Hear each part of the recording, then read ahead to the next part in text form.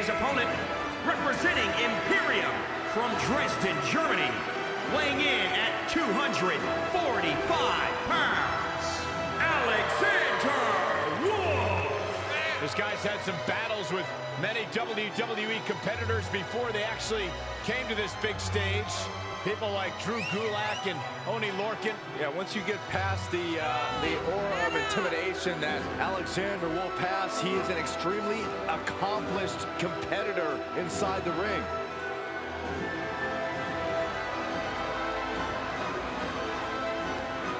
Look at that determined look on Alexander Wolfe's face. Think Wolfe is determined to prove himself to Imperium tonight.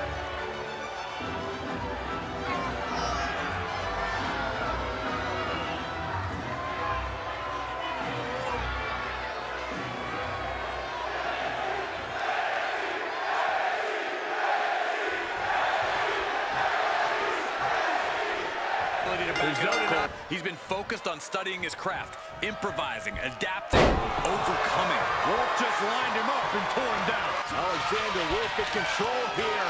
Uh-oh. Huge sit-up powerbomb.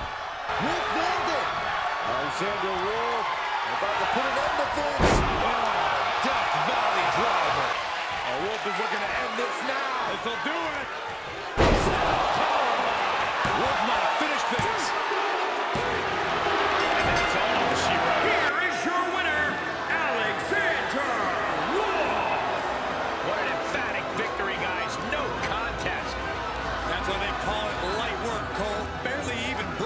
怪。